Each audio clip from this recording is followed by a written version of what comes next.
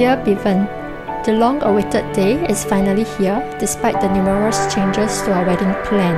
Feeling nervous and excited here, waiting for you to pick me and taking me as your wife. I remembered when I first met you, you were so chatty, making me feel comfortable and always trying to make me smile.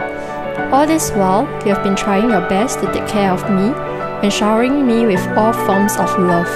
Even when it rains, I don't have to worry at all cause you will shelter me. Here we are today to our new beginning of forever, completing all walks of life together with you, most importantly, being a shelter to your heart. I love you, dear.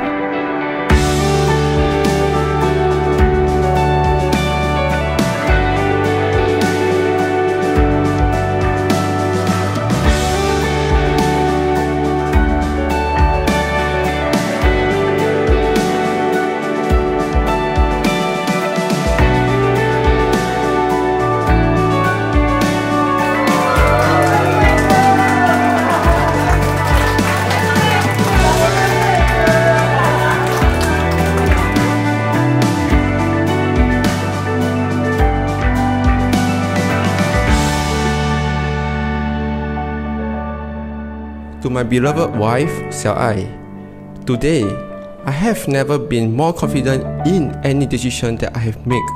The months, days, and moments leading up to our wedding day have been nothing short of extraordinary, and at times, you have reminded me the reasons why I fell in love with you in the first place.